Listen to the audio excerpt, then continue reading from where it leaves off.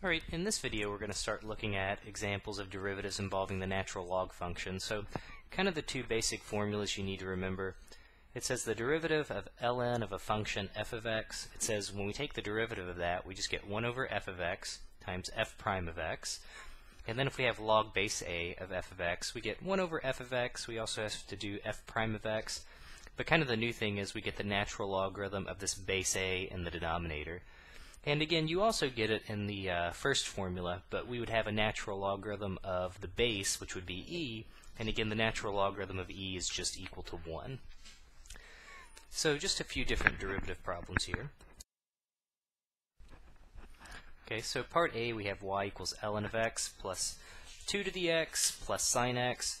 So this is just kind of straightforward, uh, just knowing the formulas no product rule, no chain rule, no quotient rule going on in this example.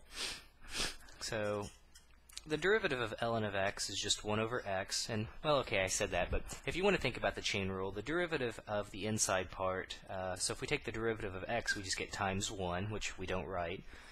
Uh, the derivative of 2 to the x, we've seen that one, that's just 2 to the x times the natural logarithm of 2. And then the derivative of sine x is just cosine x, and there's really not much to simplify here, so I would say, well, there's our derivative. So maybe let's do part B as well. So here we have h of x equals ln of x squared plus 3x plus 4. Well, if we take the derivative, we get 1 over the stuff, so x squared plus 3x plus 4. And then we'll do the chain rule. So when we take the derivative of the inside part, the derivative of x squared will get 2x. The derivative of positive 3x will just give us positive 3. And then the derivative of our constant positive 4 is just 0.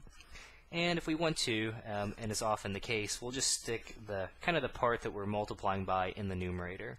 So 2x plus 3 on top over x squared plus 3x plus 4.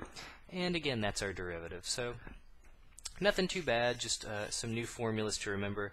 Uh, product rule, quotient rule, chain rule, those things all still apply. Um, again, just now you have sort of new derivative formulas to use.